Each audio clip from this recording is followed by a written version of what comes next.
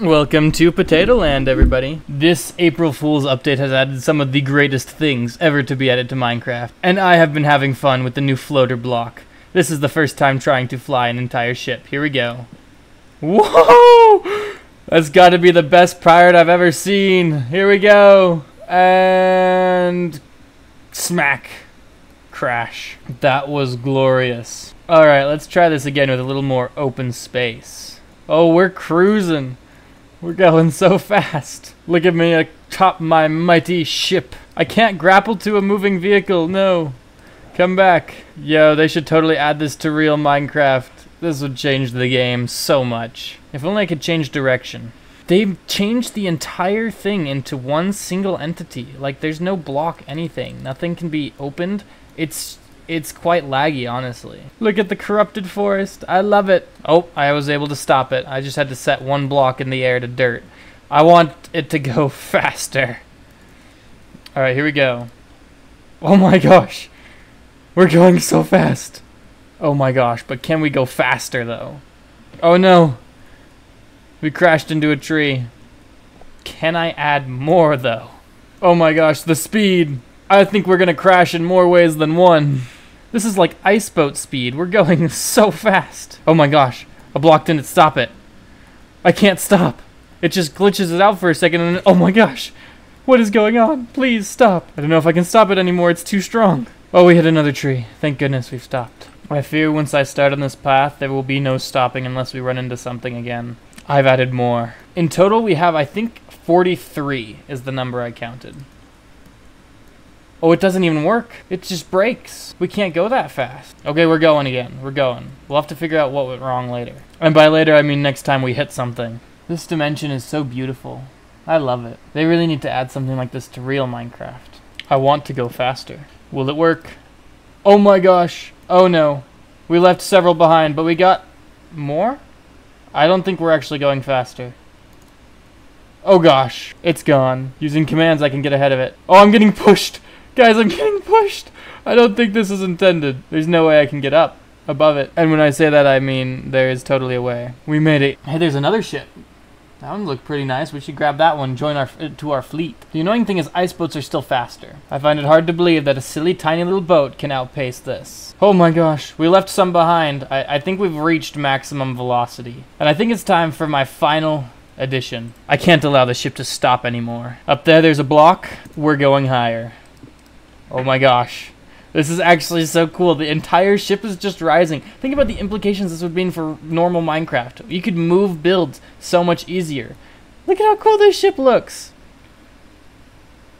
Oh gosh. It, it, it activated the other floaters. These things are so buggy. Oh gosh, we're going fast now. I don't know how this works. I think it's because I didn't turn off the lever. That stone block hit and went boom into the wall. We've traveled 17,000 blocks, and we've been going at this for like 15 minutes. I could just leave this running and walk away, and I'd come back, and I'd be like at the edge of the world, the world border before too long. Look at the particles from me running.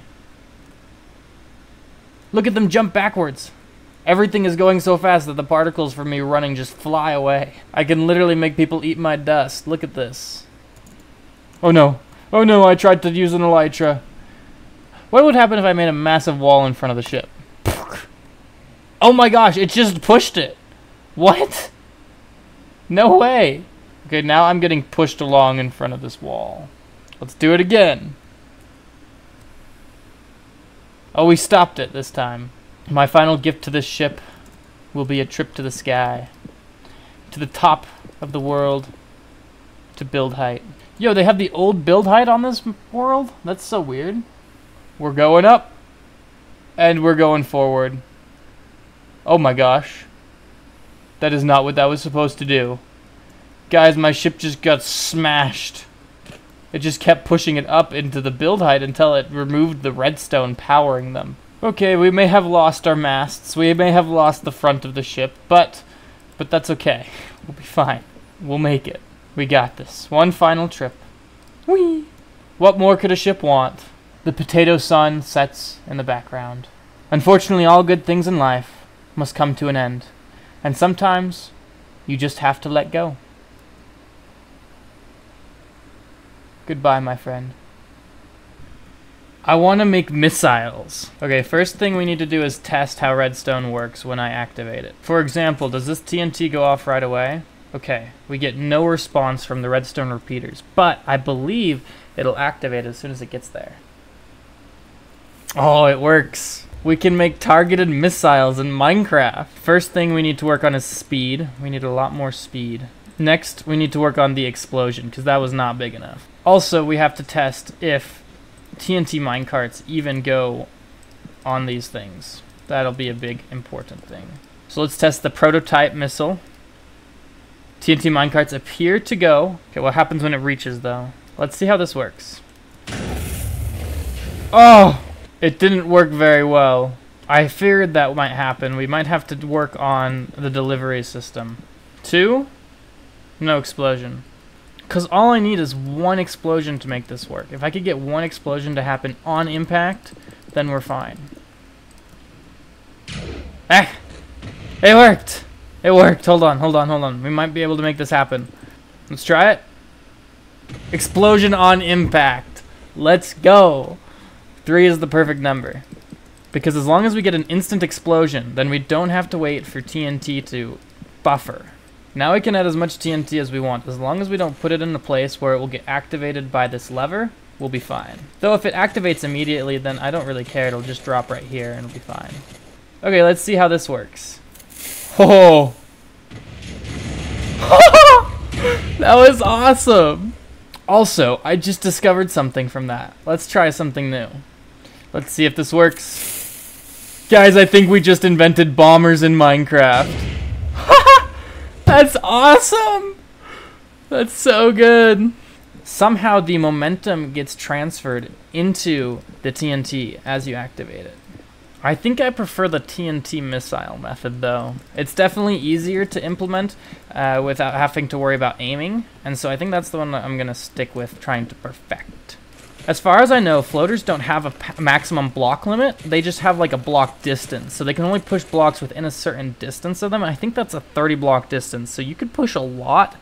But at the same time, I'm not quite sure how it all works. So we'll see how well this missile works. Oh my gosh. That was beautiful. Of course, the other option we can do is we can go outward. Because by building forward, we're making it so our initial impact is further from the blocks we want to destroy. But of course, this also makes it wider, so we're going to hit uh, impact and stopping point sooner. So I don't want to make it too wide, but I can also make it taller, which shouldn't have much of a problem when we're going into a mountain like this. Oh, this just looks beautiful. And it works! Kablam! Woohoo! That worked pretty well. I think that's the best one we've had so far. Okay, the next thing I want to do is make it rapid fire. Judging by the fact that the entire thing gets destroyed upon impact, I don't need to worry about any leftover remains getting in the way of our next target, so as long as I time it properly, I should be able to get this to fire pretty regularly. Okay, clone command works great. That is almost, that, that works exactly where I want it to be. I need to summon three minecart TNTs right here. I'm just worried about that this won't go off. Let's see. Excellent, it works just fine. Oh no.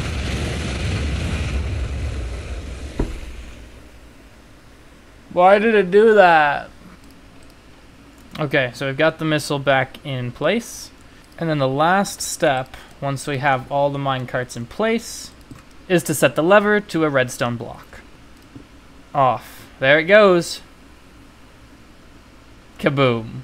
Now this should make another one with no problems. There we go.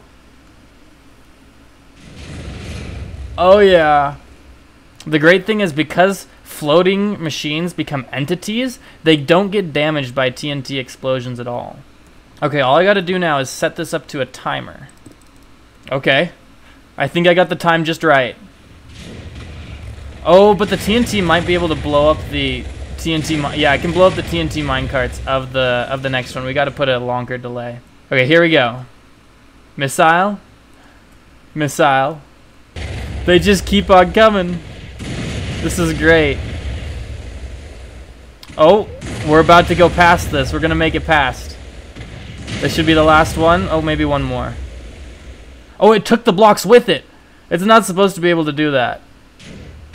Okay, this is going to get really bad really fast. We're going to have too many floating machines. The lag is already increasing. We just blew straight through the mountain.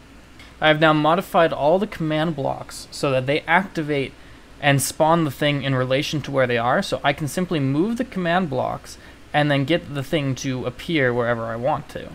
This means I can just throw it down and start blasting away at any set of mountains I want. And now we should be able to just push through any mountain that gets in our way. Here they come. Oh, it's so good.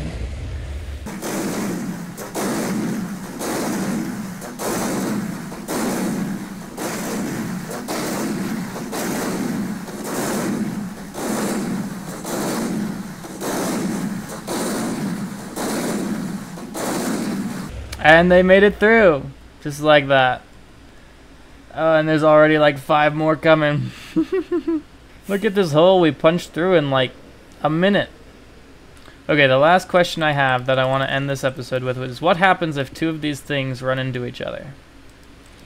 Okay, when I power this, these two should both run into each other at the exact same time. Oh my gosh, they just went through each other. What the heck? That's so funny. Okay, I'm gonna make a flying machine that will run straight into this thing, but they're go they're just gonna both go through each other probably. Now these two machines should come right into each other. Here they go. And they just fly right through each other. That's so weird. Oh, that's crazy. I hope you all enjoyed this special potato episode. It was a lot of fun. I haven't had this much fun playing Minecraft in quite a while. I do hope some of these things end up in the real game because they are just so much fun to mess around with. And I will see you all in the next episode. Goodbye!